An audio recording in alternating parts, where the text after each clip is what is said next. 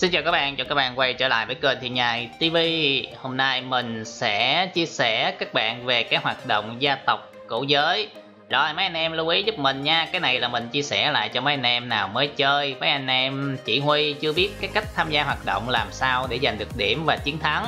Còn mấy anh em nào mà chơi lâu rồi thôi ôi thôi hoạt động này nó dễ quá ai cũng biết thì thôi anh em lướt qua nhẹ nhàng giúp mình nha rồi, hoạt động gia tộc cổ giới nó sẽ diễn ra vào mỗi tối thứ hai hàng tuần Khung giờ là 8 giờ nha anh em ơi. Và chúng ta đánh cho tới à, khi nào anh em đạt cái mốc điểm chiến thắng. Đó, bây giờ thì anh em để giúp mình ở bên góc bên tay trái Có năm cái chấm đó. Màu vàng tương ứng với gia tộc hiện tại của mình. À dạ, đợi mình tí nha, đang chết hồi sinh không được anh em ạ. À. à, Phải đợi đúng giờ mới hồi sinh được, đợi tí nào anh em ơi rồi, bên cột bên trái thì chúng ta thấy là màu vàng là tộc mình, Màu tím là cái tộc đối địch.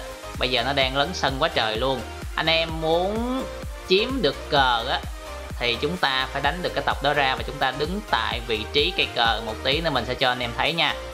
Cố gắng đẩy lui cái quân thù trước đã đi. Bây giờ nó qua, nó đánh quá trời quá đất luôn rồi nè rồi cái này để giành được chiến thắng á, thì tộc nào đạt được 2.000 điểm trước sẽ thắng nha. Đó khi mình đứng được cây cờ sẽ có cái thanh trạng thái ở đây nó sẽ hiện lên. Và có một cái dấu mũi tên nó sẽ từ từ từ từ đẩy qua. Nếu mà tộc chúng ta đông người hơn ở đây hoặc là quân địch không còn ai cả thì cái mũi tên nó sẽ bắt đầu hướng về cái màu vàng. Mà khi mũi tên nó về được cái thanh trạng thái màu vàng rồi lúc đó là cái cây cờ này là của tộc chúng ta nha. Rồi lưu ý đợi tí mình cho anh em xem anh em thông cảm mặt yếu quá cấp này yếu quá trời luôn. Qua bị nó đập một cái là chết về thành. À, rồi đó bây giờ đang là của cái tộc bên kia. Bây giờ mình đang cố gắng chiếm nè đang là màu tím nha. Anh em phải đẩy được cái tộc bên kia sang rồi mình à, đứng tại vị trí này. Mình không có đánh cờ nha anh em ơi không có đánh cờ đánh cờ gì hết trơn đó. À, từ từ đợi cái thanh trạng thái nó chạy thôi chỉ cần cái số lượng mà của quân địch nó sẽ giảm mình đông hơn là mình chiếm được cờ. Nói chung cái này số lượng đông hơn chiếm được cờ đó anh em. Đó, bây giờ là cờ bảo hòa nha. Chúng B chúng ta sẽ đẩy về một cam. Bây giờ bạch hổ sẽ là của mình. Anh em xem nè. Đó, thấy chưa? Bạch hổ sáng lên liền. Rồi, bây giờ tiếp tục chạy sang cây khác. Chỉ cần chúng ta đứng tại vị trí đó, thật đông người của chúng ta, thì tự động thanh trạng thái sẽ đầy lên. Đó, mà thanh trạng thái đầy lên thì cây cờ đó sẽ là tộc của mình nha anh em. Lưu ý nha có nhiều anh em không biết làm sao để nâng điểm làm sao để chiếm cờ á. Cứ đánh đánh địch đánh địch đánh cờ cũng không được mở cờ cũng xong. À, đứng hoài cũng không biết làm sao. Thì cái hoạt động gia tộc cổ giới này nếu mà anh em nào mà có chơi cái game à, kiếm thế á à, kiếm thế cũng có cái hoạt động giống y chang như vậy luôn. Đó nhảy vô cũng đứng chiếm cờ rồi, khi nào đạt, bên nào đạt được 2.000 điểm trước thì đôi bên đó sẽ thắng. Như vậy thì bên nào chiếm được càng nhiều cờ và giữ được cờ càng lâu thì anh em sẽ có điểm nha. Rồi, tiếp tục. Bây giờ mình đang ở cái cờ cái cờ này là cái cờ huyền vũ anh em à đó, bây giờ đang đứng cái thanh trạng thái lại tiếp tục chạy, quân địch chạy qua nhưng mà quân mình đông hơn thì trạng thái vẫn tiếp tục nhảy nhảy nhảy nhảy nhảy nhảy nhảy chạy qua bây giờ. Về khoảng giữa là bảo hòa đó không có tộc nào chiếm hết. Anh em thấy không? Trạng thái đang bảo hòa tiếp tục nhảy qua màu vàng màu cam gì đó sẽ thành tộc của mình. Rồi xong. Đó huyền vũ sáng màu vàng lên. Bây giờ sẽ còn kỳ lân và thanh long thì mình sẽ chạy về kỳ lân. Coi có ai đây không cái đã. Rồi nó đứng một rừng kìa anh em. Dám vô không? Dám vô không? Đấy quân ta đông được rồi nhảy vô đập nè. Hey, một mình thì sợ thiệt chứ mà đông thì chơi luôn.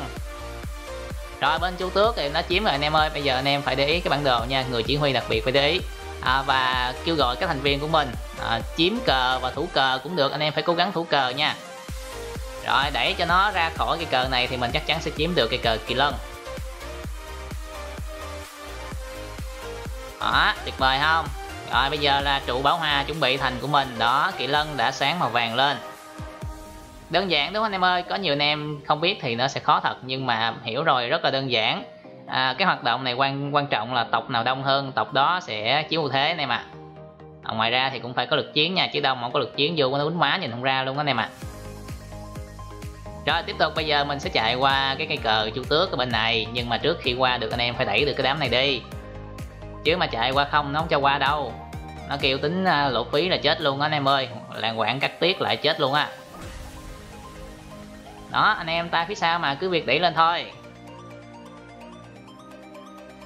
Rồi hoạt động này rất là đơn giản đúng không anh em ơi? À, và mỗi hoạt động như vậy thì chúng ta nhận thưởng. À, những cái phần thưởng rất là có giá trị và thơm tho đặc biệt là những cái hoạt động ban như thế này. Ở game này mình thấy hoạt động ban thưởng đồ rất là thơm nha. Rồi tập bên kia đông quá bây giờ lao vô đập. Cái hoạt động này nó đỡ một cái là mình không có đánh à, npc do đó anh em cứ việc target người chơi mà đập thoải mái. Nhiều anh em không có target được người chơi khó đánh lắm luôn. Rồi cho cái trụ này bây giờ vẫn còn màu tím ta. Ui bên này vẫn còn đông à khó chịu khó chịu cực kỳ. Và đặc biệt với những cái hoạt động à, gia tộc thế này thì anh em cố gắng vô bt của mấy thành viên khác để chúng ta nhận được búp máu hoặc là chúng ta búp máu cho người khác nha anh em ơi rồi mình đã hồi sinh ngay cái kỳ lân luôn. Chắc là nó lấy cái điểm hồi sinh gần nhất hay sao đó. Bây giờ chúng ta tiếp tục chạy qua bên chú tước. Ồ nó đông kìa. Thôi thôi thôi. Quân địch đông hơn thì mình chịu thua anh em ơi. Rồi mọi người lưu ý để ý cái điểm nha. Hiện tại bên mình đang là 1k6 92 điểm. Trong khi tộc bên kia là 1k7 rồi. À, Nó mà chạm đích trước mình là mình sẽ thua nha anh em. Bên nào mà được 2.000 điểm trước á Rồi bên mình đang chiếm được 3 cây. À, Cố gắng đẩy thêm cây nữa. Rồi ơi nó 1.800 điểm rồi. Bây giờ mình mới có 1.700 sắp chạm 1.800 cái bản đồ này nó chạy ngược anh em ơi. Mình đứng ở trên thì mình chạy ngược nhưng mà anh em nào mà ở vùng phía dưới thì anh em chạy nó xuôi nha. Mình chạy bên phải mình nhìn bản đồ thành bên trái. Ác đảng gì đó. Rồi bây giờ chiếm cái cây chu tước. Nữa là mình sẽ được 4 cây tuyệt vời đúng không? Là hiện tại đang ngang điểm rồi nha.